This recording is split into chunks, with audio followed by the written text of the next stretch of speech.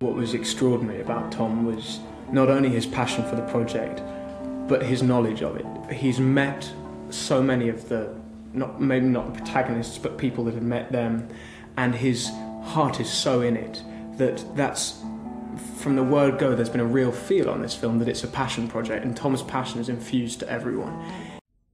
It's been a complete joy. Um, I remember when I went into the audition, my screen test with Julianne, the first thing she said was, uh, God, you even look like me. And I remember, thinking for the first time in my life, I was very happy to have freckles. I was like, yes, get in. Um, and but she's been magnificent. I mean, from the word go, uh, fun and accommodating, and, and also extraordinary because because of the story it's telling, and it's a deeply tragic story, but filled with kind of comic moments. Julianne has the capacity to be just sort of fun-loving and, and capricious, and then to be bang straight into it. I remember.